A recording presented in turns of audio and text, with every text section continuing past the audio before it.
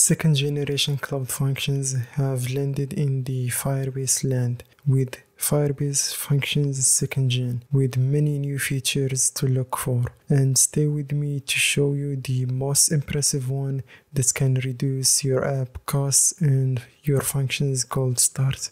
First, we need to update our Firebase CLI to the latest version and also done the regular functions setup as there is no changes even for the second generation function. The first update is longer execution time for our functions. For event driven functions or trigger functions in second gen has an additional minute compared to the first generation. As for HTTP functions in second gen it is up to an hour of execution time. To configure this new extended runtime duration, pass an object as the first argument to the onRequest function and set the timeout seconds property to 3600 seconds, which is equal to 1 hour. And the next on the list is our functions has access to more resources that we can allocate for our functions in second gen up to a 16 gigabytes of memory and 4 virtual CPUs instead of 2. To set up and configure your functions to use more resources, we need to pass an config object with the CPU property for setting up the virtual CPUs and the memory property for the RAM amount. Now with concurrency, which is the most impressive and notable update for the second gen functions. For the first generation function, each function is set and located to serve each incoming request which cause each request to experience cold start and also increase the cost of running our function. However, for the second gen function, thanks to concurrency, we can let one function instance to serve multiple requests at the same time which reduces the cold start chances and also the cost since one instance is running for multiple incoming requests. Now we will get down to migrate the old first gen functions to the new second generation function to address and introduce the new changes in the API.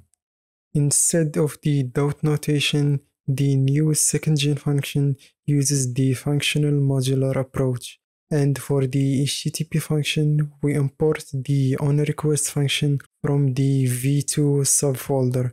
And for the onRequest function, it expects a function as an argument with two parameters, the request and the response objects similar to the first gen function.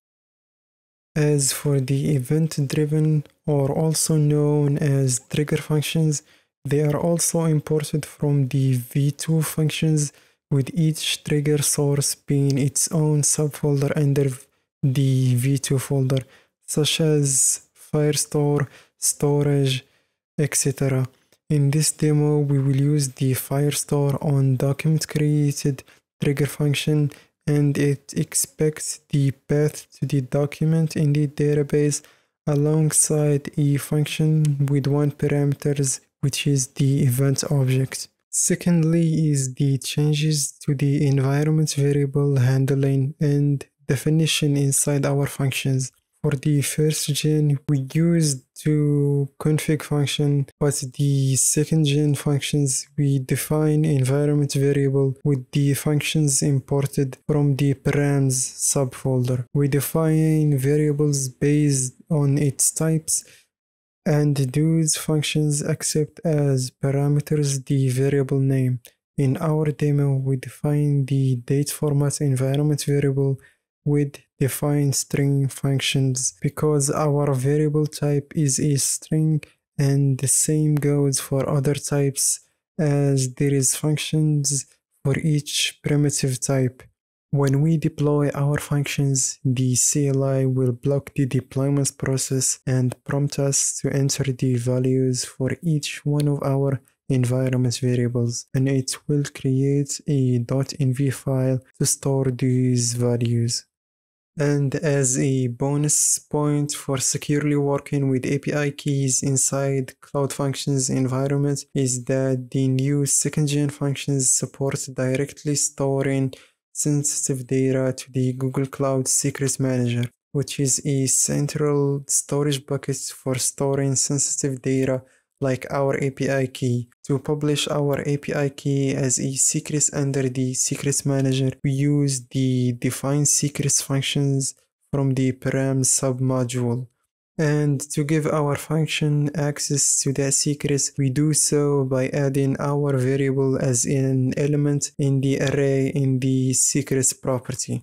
If we deployed our functions, it will raise an error if you don't have the Secrets Manager API enabled. After we enable it, the CLI will prompt us to enter the API key value. Note that the inputs are hidden after the deployment finishes, if we inspected the Cloud Console under Secrets Manager, we will find our API key stored as a secret. Now configuring the environment of our function with options like minimum instances, function region with the old first gen function, use configuration got configured with the run with method for minimum instances and region method for regions. But for the second gen function, the approach has changed into configuring the deployment region with the set global options functions imported from v2 submodule and the first parameter object for HTTP and trigger alike for minimum instances. If you found this video